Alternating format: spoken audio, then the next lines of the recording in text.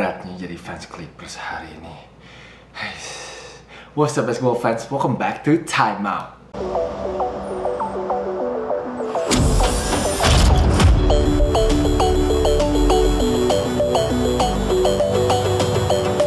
Balik bareng gue Ricky Padilla, kita kembali lagi ke Info Basket Harian edisi 13 April 2022 Timeout geng, gue yakin hari ini akan banyak yang mampir ke Timeout untuk ngecengin Clippers gue. Tapi sebelum kita ngomongin tentang Clippers gue yang cok di kuarter keempat Gue mau ingetin aja nih, kok gue main baru upload vlog baru di channel sebelah di Rocky Padilla TV Jadi bantu untuk support guys, bantu untuk like, bantu untuk nonton juga. Bagi kalian yang suka pernak-pernik supermarket Jepang Uh, di situ kan bisa lihat tuh ada apa aja. Dan juga uh, gue main ke toko video game yang isinya game-game jadul. Wah kalau kalian pengen nostalgia juga bisa kan aja jadi make sure guys check out my new vlog di Rocky Padilla TV and ya hari ini tadi thank you juga yang sudah mampir ke live chat gue. Pertama live chatnya cuma 50 orang dan pas game mau selesai, semua yang melihat penderitaan gue tiba-tiba jadi 198 orang yang ada di live chatnya. But thank you so much though for the support and thank you so much juga yang sudah tadi renew dan juga ada yang member baru. Really appreciate everybody and ya yeah, semoga kita pas live nanti bisa makin sering live chatnya ya guys ya. Oke, okay, kalau gitu kita langsung masuk, langsung masuk ke comment of the day. Uh, comment of the day datangnya dari Master Ali. Hampir tiap hari gue nonton dari Ternate sini kok. Wow, wah tahu Time Out Gang uh, cabang Ternate ini ya. Shout out to Master Ali, thank you so much for support dari Ternate. Kalau ada yang nonton dari Ternate lagi, thank you so much semuanya. Shout out salam semua, salam Time Out Gang dan untuk semuanya di Ternate. So really appreciate the support Master Ali. Nah, sekarang kita masuk ke Rock and Roll, my favorite. Oke, okay, pertama selebrasinya Patrick Beverly yang udah kayak juara NBA mirip kayak Kobe mirip kayak Dwayne Wade suka naik-naik ke atas meja ya. Tapi tadi sebenernya gue pengen banget taruh videonya sih NBA yang di TNT yaitu uh, Inside the NBA dan mereka kasih background mereka ngecengin Patrick Beverly dengan background musiknya We Are The Champion tapi gue gak bisa masukin ke sini karena kalau masukin ke sini gue kena copyright guys. And berikutnya Doi aus bener minumnya bir. Wah udah kayak juara NBA setengah-setengah juara NBA lah. Kayak NBA champ, juara NBA champion kalau dia minumnya bir. Lolos ke playoff soalnya. Gokil sih Patrick Beverly sih ada-ada aja. Dan terakhir kalian bisa dengarkan apa kata Patrick Beverly. Dia ngomong apa ke Clippers setelah pertandingan. What did you say to your old teammates at the end there when you were standing in front of the bench? Take their ass home. Long flight to LA. Take y'all ass home. Aduh ngakak banget sih tapi si Patrick Beverly sih.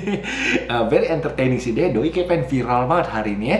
Mencoba sekali dia tadi di locker room juga bacotnya banyak banget But hey he deserve it though uh, You gotta love the guy though. You gotta love the guy. Dia bener enjoying this moment banget. Dia bisa bawa timnya lolos ke playoff sejak tahun 2000 Pertama kali sejak tahun 2018 ya kalau nggak salah ya. So he deserve all love this. So once again congratulations untuk fansnya Timberwolf And terakhir Tadi ada cewek masuk ke lapangan mau ngelem tangannya di lapangan. Katanya adalah bagian dari sebuah protes. Gue nggak tahu dari protesnya protes apa. Uh, tapi um, gue nggak tahu sih dia mungkin pagi bangun kayak hmm gue hari ini mau ngapain ya?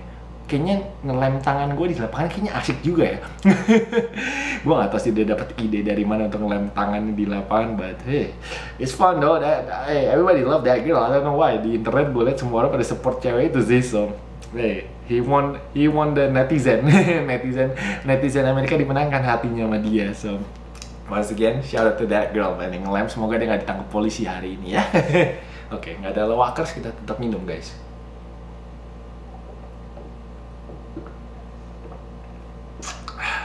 Karena hari ini Clippers gua act like lewakers for real for real.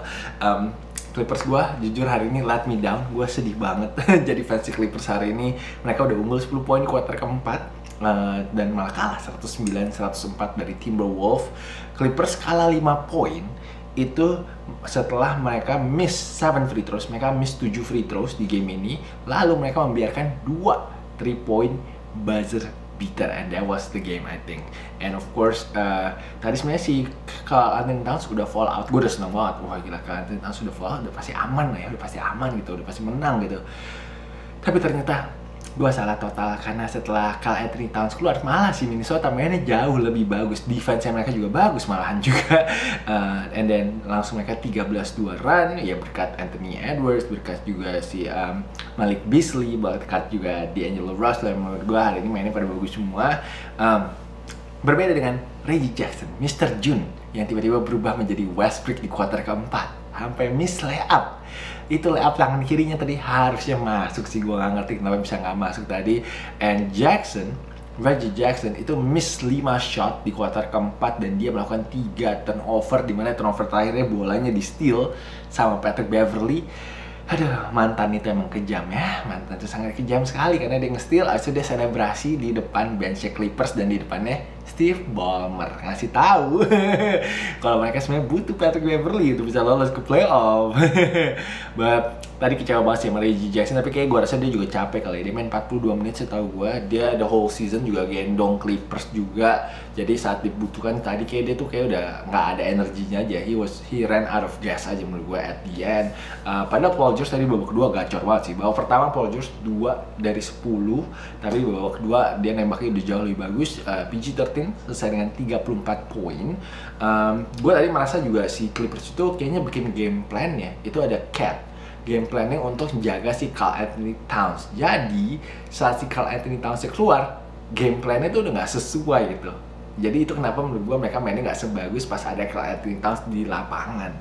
Uh, um, apalagi menurut gue tadi ball movementnya juga kurang bagus sih. Uh, walaupun dia 19 assist, tapi menurut gue tadi ada beberapa kali mereka tuh terlalu berharap sama tembakan three pointnya mereka.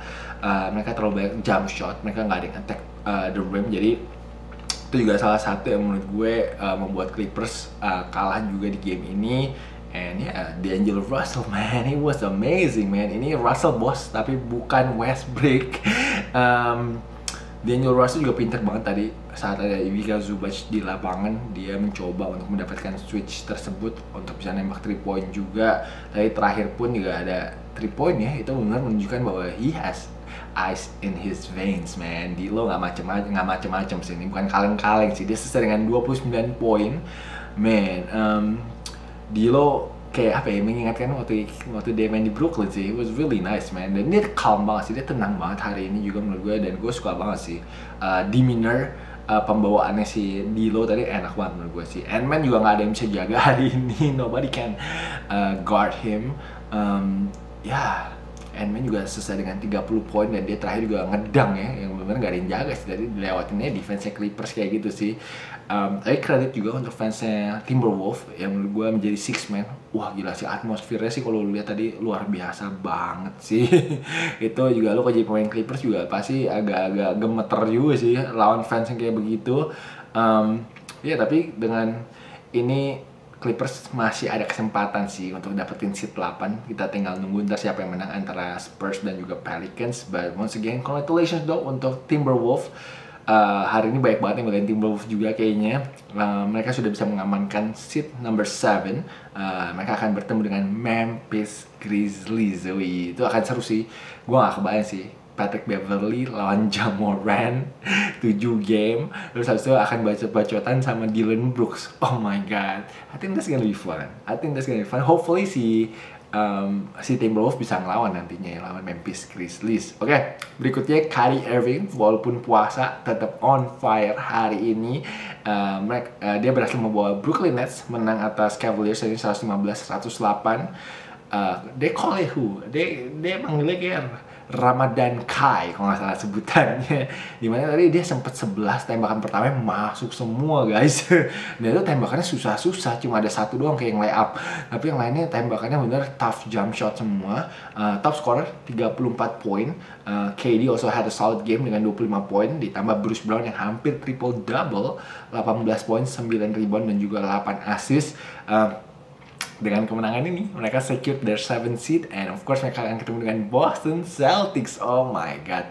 Itu bisa-bisa adalah the best matchup untuk first round sih. Kayak akan 7 games sih. At least 6 but I'm hoping gonna go to 7 uh, itu soalnya dua-duanya benar-benar menurut gue sama-sama kuat sih. Uh, dua-duanya punya kesempatan menang juga. Tapi gue hari ini jujur gue nggak gitu nggak gitu impress sama si Brooklyn Nets kecuali kecuali uh, bagaimana KD sama Kyrie distributed the ball. Itu menurut gue itu dong yang nilai plusnya Nets hari ini Uh, karena menurut gue gila dengan si KD dan Kyrie combined for 23 as assist itu berarti dia they look for their teammates gitu mereka nggak main sendiri aja. Uh, which is really good walaupun Seth Curry 0 point. Gue nggak ngerti gimana caranya Seth Curry bisa 0 point tapi yang pasti um, ya untungnya tadi si Nets unggul 40-20 duluan sih. Karena setelah itu tiga quarter lainnya dimenangkan sama Cavaliers menurut gue. Um, tapi awal-awal awal-awal defense-nya bagus tapi setelah itu gue udah bisa dibaca sama si Cavaliers. Cavaliers udah mulai bisa uh, terobos-terobos. Tapi uh, yang jadi main concern gue untuk si Brooklyn ini of course si Ben Simmons yang nggak main-main. Kita nggak tahu Ben Simmons akan main atau tidak karena di first round. Um, tapi main concern gue adalah menitnya menitnya KD, Kyrie dan juga Bruce Brown uh, mereka semua main at least 40 menit. Nah ini gue nggak tahu nih apakah sustainable atau oh sustainable nih bahasanya Bali United ya, sama bahasanya SM. Tapi apa menurut gue gue gak tahu apakah mereka bisa sustainable atau enggak karena gue takutnya mereka kecapean sih kalau mainnya uh, setiap game at least 40 menit. 40 menit is a long time on the court. Itu perlu uh, fisik yang bagus banget. Apalagi Kyrie lagi puasa. Cuma walaupun kata Kyrie Kyrie bilang nggak gitu ngaruh banget sebenarnya. Dia nggak mikirin itu. Dan Kyrie kayaknya tadi lagi feeling himself banget kalau lihat di Instagram Nets di locker room joget-joget. I never seen, gue gak pernah liat Kyrie kayak gitu sih. That was my first time sih. Dia bener enjoying his time banget sekarang ini. Um, yeah, si Steve Nash kalau ngomong si Ben Simmons nggak bisa balik, man, he has to think of something sih. Tadi emang gue tahu sih Gordon Dragic mainnya nggak banyak, lalu si uh, Patty Mills juga cuma 6 poin, set 0 poin, but they gotta figure it out man. Kayak dia sama Kyrie sih jebol juga sih menurut gue komen 40 menit 40 menit terus sih. Kalau Bruce Brown maybe dia energinya lebih dikit kali ya karena dia energizer bunny menurut gue sih. Tapi uh, shout out tuh untuk Nick Claxton. Nick Claxton yang akan menjadi restricted free agent. Man he's taking advantage man of this opportunity. 13 poin 9 rebound dan juga 5 block shot. Uh, tapi of course kita nggak bisa lupa dengan tim Cavaliers yang masih muda ini. Menurut gue mereka meninggalkan semua yang tadi di lapangan. They gave their all uh, memberikan perlawanan yang sengit. Mereka tadi sempat hampir ngejar anggap sempat beda 6 atau 4 poin gitu tadi di kuarter keempat. Uh, so they had a chance to win actually. Um, there is Garland man. This guy man. 20, 22 22 years old jago banget men. Gak ada obat. 34 poin hari ini. He led the way. Um, Evan Mobley juga solid. 19 poin 7 rebound. Memang sih kalau ada Jared Allen atau ada Colin Sexton mungkin bisa sedikit berbeda hasilnya. Tapi kalau bisa lihat kayak gini aja kayaknya masa depan dari tim Cavaliers ini sih cerah banget sih gue yakin mereka akan jago ntar ke depannya akan pasti bisa kayak seat 4, seat 3 di Eastern Conference. Um, tapi emang ada satu kekurangannya tim ini yaitu shooting. Menurut gue Darius Garland ataupun juga Evan Mobley kalau dari dalam mau kick out kadang-kadang bingung mau ke siapa. Okoro gak bisa nembak. Um, si Le Le LeVar Stevens I think Lamar Stevens his name itu juga B aja sih paling Kevin Love I think the second best shooter setelah Darius Garland adalah Kevin Love sih and then baru mungkin Cedi Osman satu lagi siapa? Oh, Caris LeVert. Caris LeVert juga tadi nembaknya hancur sih. Jadi, I think kelemahan tim Cavaliers ini adalah shooting sih. Tapi, man, um, mereka gue rasa sih bisa lolos sih nanti ketemu uh, lawan yang menang antara Atlanta Hawks dan juga Charlotte Hornets. I think I think they got a good chance. Apalagi nanti mereka akan main di home mereka so Cavaliers fans just be patient. I think they will get a chance man. I think it's gonna be a good game though. Kalau ketemu Atlanta Hawks I think that's gonna be fun man to watch. But once again uh, tadi gamenya kurang seru sih yang uh, Nets lawan Cavaliers walaupun sempat tipis uh, intensitinya kurang menurut gue. Lebih lebih seru intensitinya kayak apa Clippers lawan Timberwolves tadi tuh. Tapi pasti sekarang kita balik ke prediksi. Hari ini gue ngejinx tim sendiri. Of course gue salah main gue milih Clippers. Besok ada dua game. Of course uh, ada Atlanta lawan Hornets dan juga ada Pelicans lawan Spurs. Jadi gue akan memilih besok Atlanta minus 5 lawan Hornets. Uh, mereka main di home, seperti gue bilang, mereka main di home itu menang 19 kali dari 22 pertandingan terakhir mereka. So, I think they should win uh, pretty comfortable besok lawan si Hornets. I don't think Hornets gonna be nggak akan kayaknya akan kayak Cavaliers gitu sih nasib, nasib ya kayak besok menurut gue sih. Jadi uh, good luck everybody, semoga besok Hawks menang ya. uh, top Styles, uh, KD hari ini uh, memperkenalkan KD 15 ya, ini vibesnya kayak KD 3 ya menurut gue. Uh, Tapi gue suka sih desainnya simple tapi keren sih. Uh, jadi itu aja sih gue pengen share untuk top style hari ini. Uh, top place gue skip dulu hari ini nggak terlalu banyak top place. Uh, ya yeah, player of the day gotta give it to Ramadan Kai man dengan 34 poin, 12 dari 15 tembakannya, 12 assist. He was just simply amazing menurut gue sih. So that is why he was our he is our player of the day. Tamat geng, kita sudah ada di akhir timeout hari ini. Thank you so much guys for tuning in today. Thank you so much sudah meluangkan waktunya untuk nonton timeout hari ini. Really appreciate everybody. Besok kita lihat ya game seru nggak ya? Kalau game seru kita bikin timeout lagi sih besok sih ya. Oke, okay, timeout geng. Thank you so much for watching. Jangan lupa untuk like, jangan lupa untuk comment, and I will see you guys again soon.